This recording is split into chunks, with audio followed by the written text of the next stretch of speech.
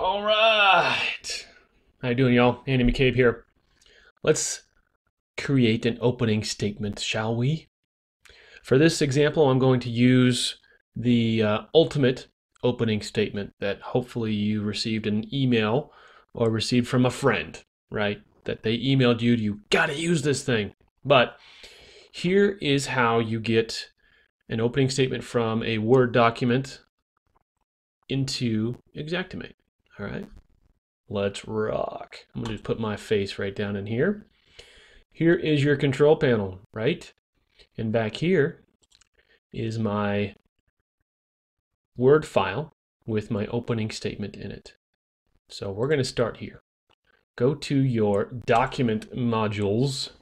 Down in model statements, you're to have, you're to come over here, right here, and say add.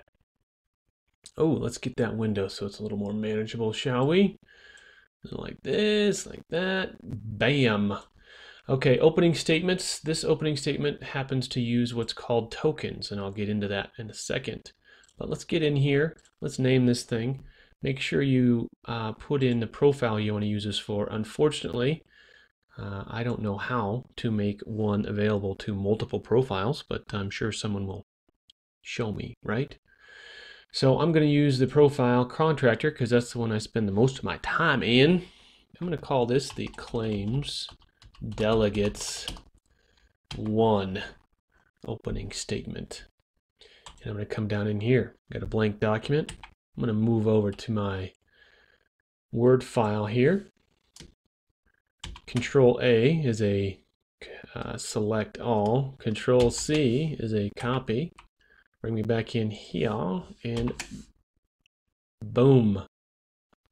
Okay, so I know, for instance, if when I went over and typed this thing up, that this bracket h company underscore hdr underscore name will automatically insert the name of the company that's listed in the header of your Xactimate document. If you don't have a company listed in the header of your Xactimate estimate that you're writing, this will be blank. The, all the other words will still be there, but that space will be blank. So just keep that in mind going forward. Okay, so let's let's look at this. How did I get this this token? This is called a token in here. I went up here to this T insert token and I searched for what I wanted. Down in here is the contractor Company header code, I don't want that. Company header information, mm, don't need that right now. Company header name, that is what I used. Another token you're going to see right over here is the sum grand total.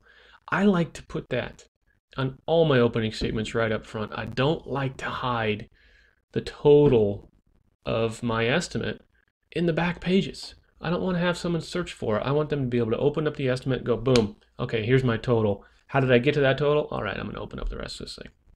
So down here under sum, where is it? Sum grand total, where is it? Sum grand total, that's the one I used. But that's already in here. So sometimes when you copy and paste, the spacing gets a little bit off. So I like to come in here and make sure, uh, let's just tidy that up. Uh, looks like that looks good, looks good. And there we have it. I'm going to save and exit. And then that's in there. So let's go use it. Let's open up let's open up an estimate. I've got one that I mess around with all the time called sample project. I just put a bunch of stuff in there uh, to play around with when someone asks me questions and whatnot. And here it is. Let's shrink this screen up for y'all. Bam, bam, bam, boom, bam. You like those sound effects? And come over here and claim information. Parameters. Here's your company header. Let's use a company header. Let's use a claims delegates company header. And model. Oh, guess what? I don't have access to the, the uh, opening statement I just made because I'm in the wrong profile, right? Cancel. Save and exit. This is in the carrier profile, as you can see. So let's make a copy of that, duplicate it, call it sample one, come down here, call it contractor. Boom. Open back up. Back to claim info parameters. Opening statement, model opening statement. You can see it right there. Boom. Description of loss. Uh, if you're not using an opening statement like this, I highly suggest it. And then uh, let's say water loss from upstairs bathroom. And then blah, blah, blah, blah, blah, blah, blah. How is this thing going to look? Let's take a look. Let's print it. Mm-hmm. Abbreviated is fine. Let's view this bad boy. Boom, boom, ba, boom, boom, boom. Ba, ba, ba, ba, ba. There's my header, and boom, look at this.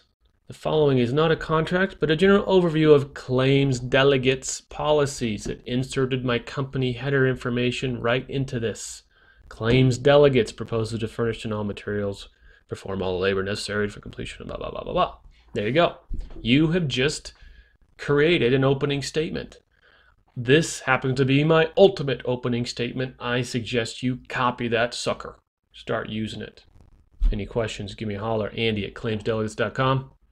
Take care, y'all.